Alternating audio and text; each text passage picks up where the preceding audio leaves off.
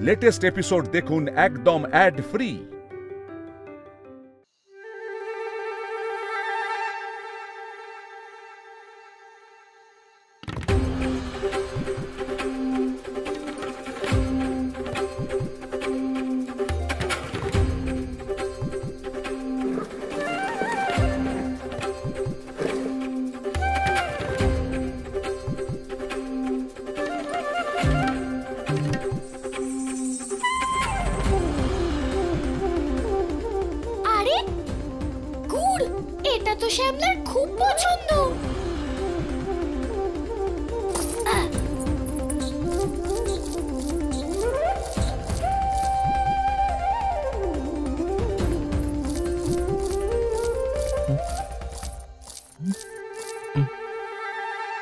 কিসের শব্দ পেলাম?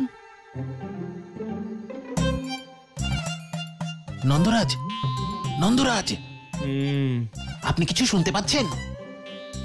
হ্যাঁ দামোদর আমি শুনতে পাচ্ছি যে তুমি কথা বলছো। আমি আমার কথা বলছি না নন্দরাজ। নুপুরের শব্দ। মনে হচ্ছে গৃহে চোর ঢুকেছে। নুপুরের শব্দ? চোর?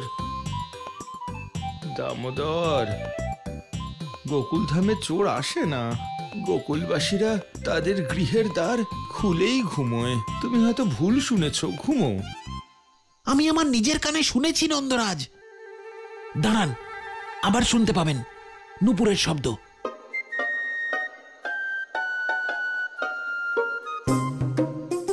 আর তো কোনো শব্দ পাওয়া যাচ্ছে না। তাহলে নন্দরাজ ঠিকই বলেছেন। মনে হয় আমার ভুল শোনার রোগটা পুনরায় দেখা দিয়েছে। বৈদ্যকে দেখাতে হবে। আপাতত শুয়ে পড়ি।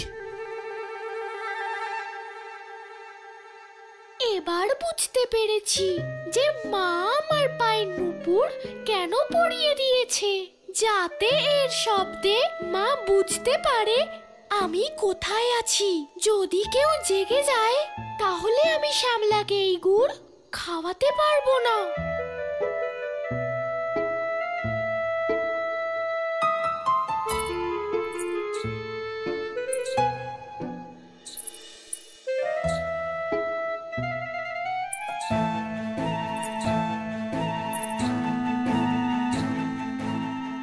পড় দামোদর ঘুমিয়ে পর তুই ভুল শুনছিস।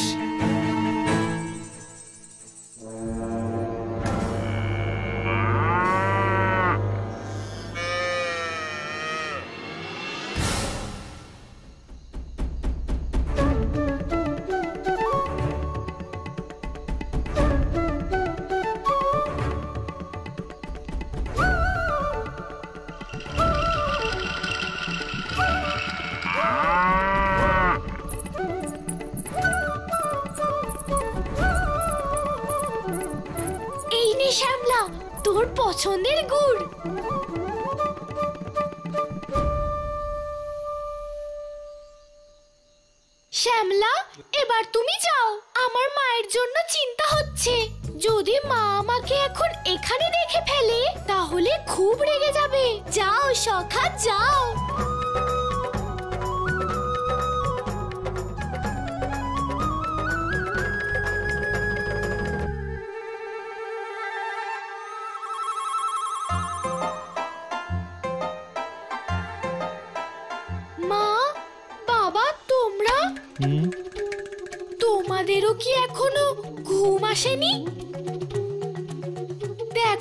কত রাত হয়ে গেছে। আমার খুব ঘুম পেয়েছে।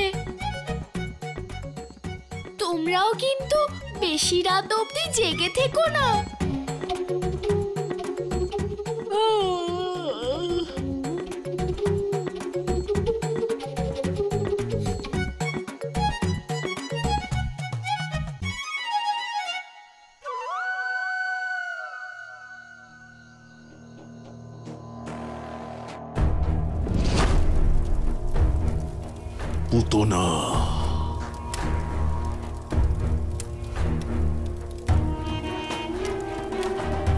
জানো চানুর পুতনাকে আমি কোথায় পেয়েছিলাম? ভগবান কংসের বীরত্বের জ্ঞান যার নেই তার থেকে অজ্ঞানী আর কে হতে পারে ভগবান? আপনি যখন বিশ্ববিজয় যাত্রায় ছিলেন তখন পুতনা আর ওর ভাই বকাসুর মূর্খতা বশত আপনাকে যুদ্ধে আহ্বান জানায়।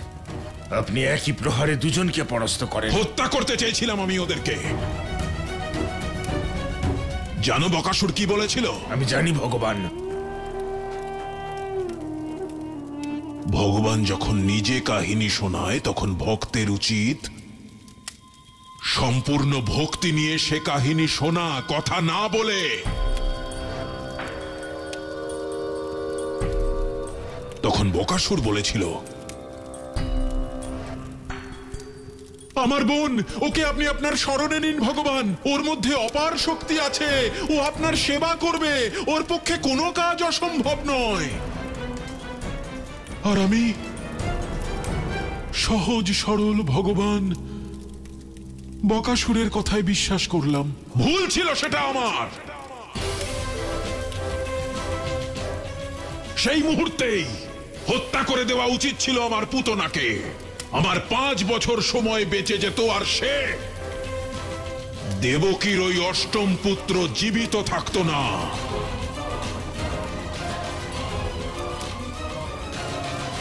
ক্ষমা করবেন, ভগবান। কিন্তু পুতনা বিগত পাঁচ বছরে সহস্র শিশুদের হত্যা করেছে। হতে পারে দেবকীর অষ্টম সন্তান ওই সহস্র শিশুদের সাথে মারা গেছে।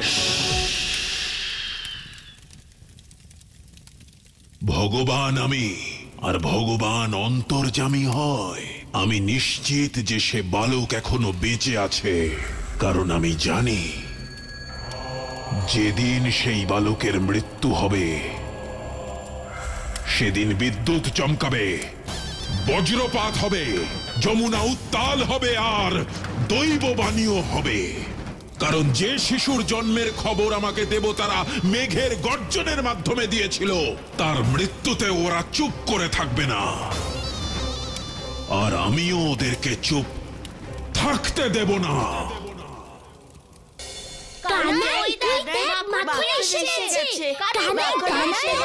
মাখন এসে গেছে।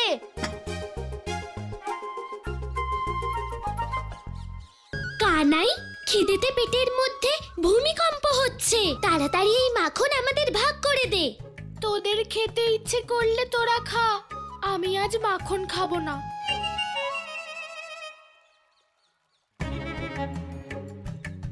কানাই তুই এটা কি বলছিস? কানাই মাখন খাবে না এটা কি করে হতে পারে?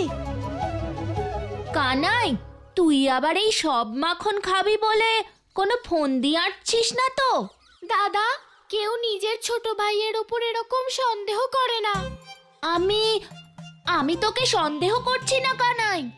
আমি তো শুধু এটা জানতে চাইছিলাম যে তুই এই মাখন কেন খাবি না? দাদা কারণ এই মাখন আমাদের নয়।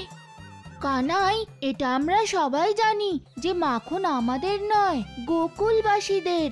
তবুও প্রতিদিন তো আমরা মাখন খাই। তাহলে আজ কি হলো? দাম সত্যি হলো এটাই যে এই মাখনে গোকুলবাসীদেরও কোনো অধিকার নেই। তাহলে এতে কার অধিকার আছে, কানাই? বাছুরদের। বাছুরদের? হ্যাঁ তা কীভাবে?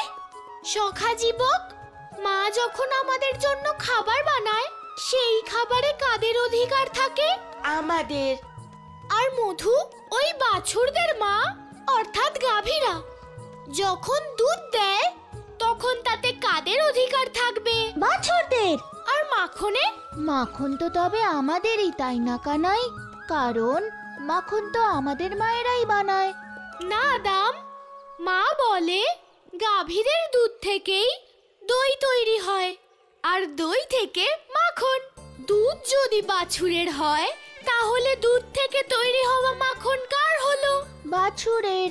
এতক্ষণ ধরে তো আমি সেটাই বলছি কিন্তু তোরা তো বুঝতেই পারছিস না। কিন্তু কানাই বাছুরেরা তো মাখন খায় না। কিন্তু দুধ তো পান করে।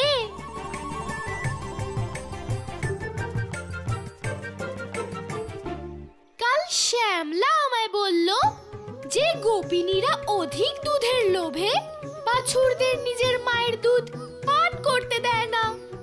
বাছুরাও তো আমাদের সখা তাই না?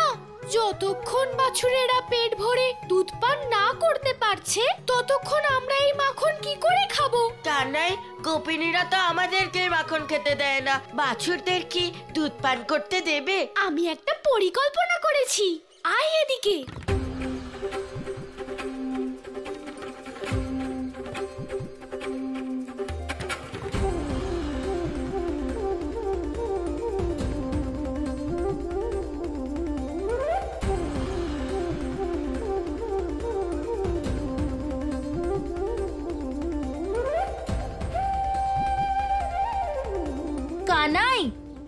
এই পরিকল্পনা ভালোই।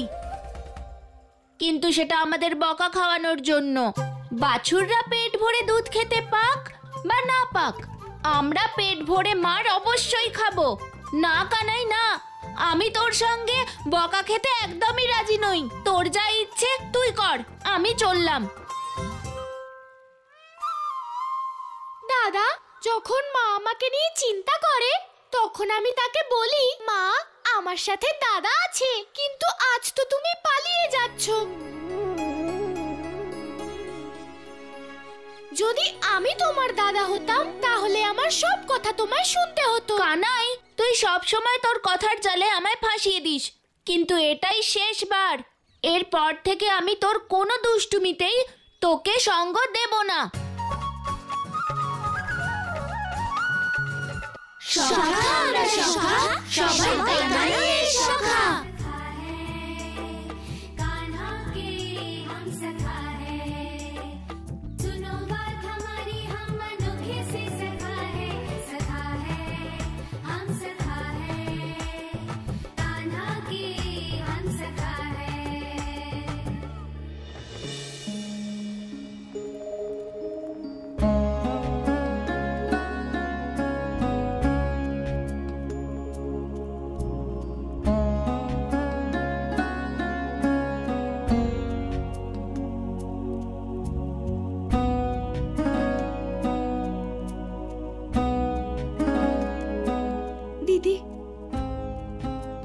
মহারাজ বসুদেবের এই কষ্ট আর দেখতে পারছি না।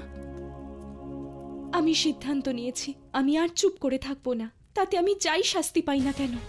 আমি মহারাজ কংসের সাথে কথা বলব।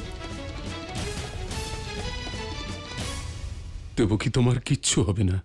সব ঠিক হয়ে যাবে দেবকী। তারপর আমি তোমাকে মহেশমতি নিয়ে যাব। তুমি শুনতে পাচ্ছ তো?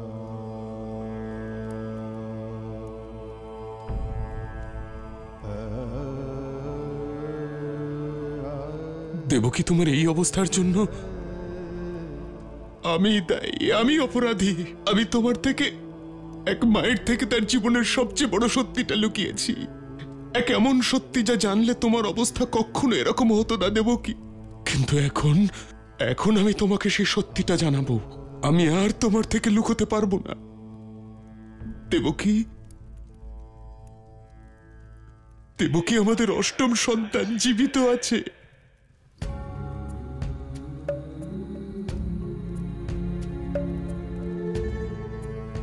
ওর কিচ্ছু হয়নি।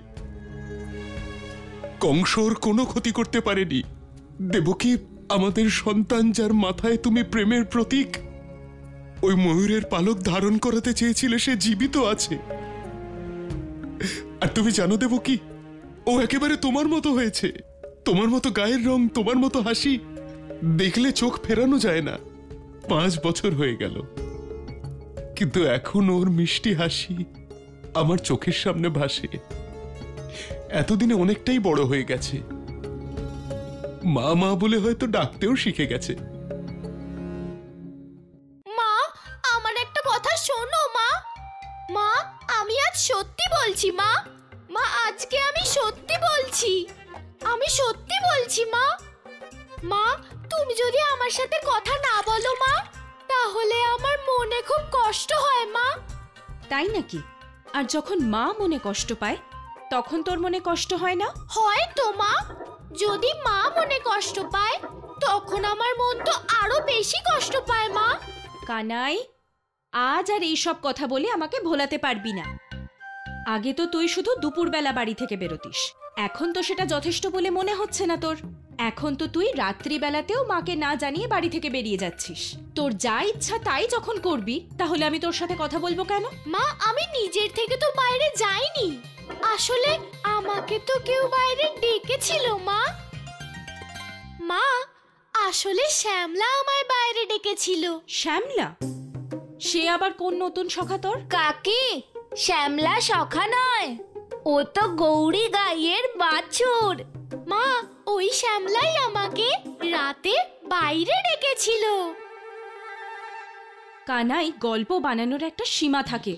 আজ তো তুই সেই সীমাও পার করে দিলি। গল্প বানাচ্ছি না মা সত্যি সত্যি বলছি মা কাল রাতে শ্যামলার খুব খিদে পেয়েছিল তাই আমি ওকে গুড় খাওয়াতে গেছিলাম মা।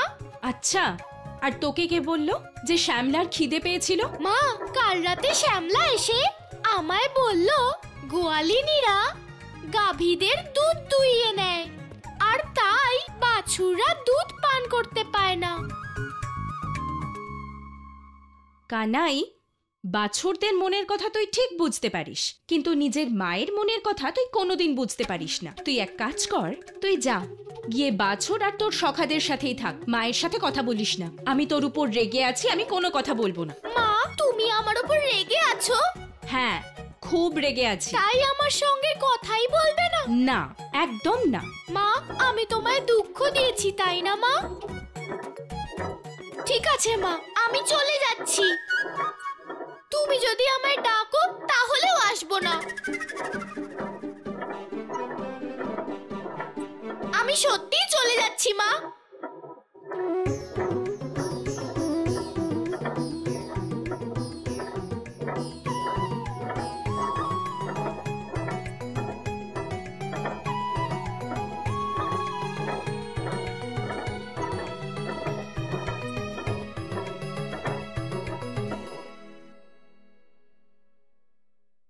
আরে কানাই কোথায় চলে গেল?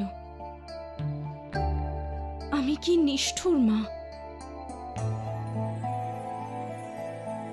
কানাই কানাই কানাই। কি মা?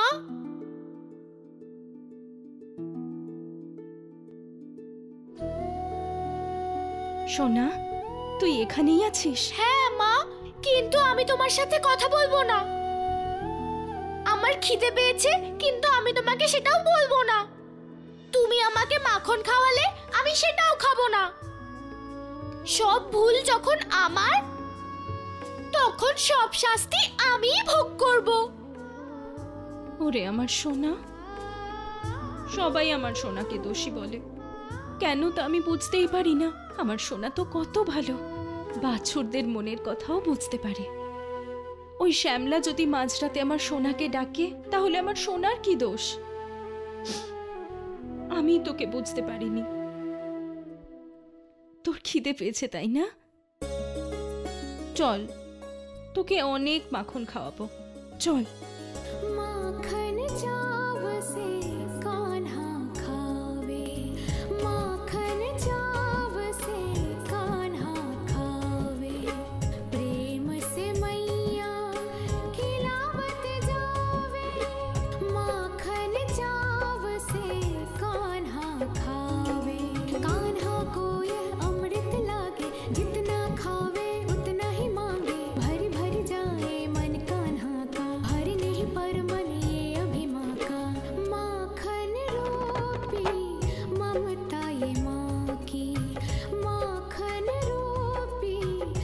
যশোদা আর কৃষ্ণ।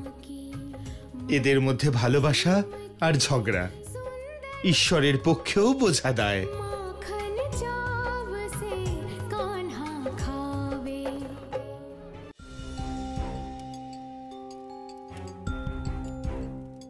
এসো আমার প্রিয় পত্নী প্রাপ্তি এসো। তোমার হৃদয়ের কথা বলতে এসেছ। ভগবান রাজকুমারী দেবকী সে তার মৃত্যুর দিন গুনছে। বিবাহের সময় তার বিদায় সম্পন্ন হয়নি। কিন্তু আমি চাই যে তার মৃত্যুর পূর্বেই যেন তাকে মুক্ত করে দেওয়া হয়। কারণ সংসারে নারীরা কেবল নিজের কথা চিন্তা করে, কিন্তু তুমি প্রাপ্তে, তুমি আমার বোনের কথা এত ভাবো। বেশ, তুমি যা চাও তাই হবে। ধরে নাও দেবকী আজ থেকে স্বাধীন? তথাস্তু।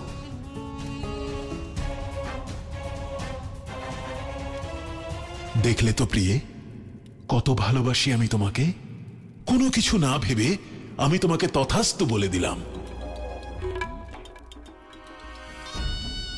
কিন্তু আমার কেন জানি না মনে হয় প্রাপ্তি যে তুমি আমাকে একটুও ভালোবাসো না। না না ভগবান এ কথা সত্য নয়। আমি আপনার পত্নী। সেটাই তো দুঃখ যে তুমি আমার পত্নী। কিন্তু ভালোবাসো না। কারণ যদি তুমি আমাকে ভালোবাসতে তাহলে আমার মনের মতো করে সাজতে। আমার কল্যাণ কামনায় সিঁদুর পড়তে তোমার সিঁথিতে। তবে চিন্তা করো না। আমি এটা জানি যে পত্নীর মন কীভাবে জয় করতে হয়। আজ ভগবান কংস স্বয়ং তোমাকে সাজিয়ে দেবে। কিন্তু দেবকী যখন আমি তথাস্ত বলেছি তখন দেবকী মুক্তি অবশ্যই পাবে। কিন্তু তার অষ্টম পুত্রকে চিরকালের জন্য মুক্তি দেবার পরেই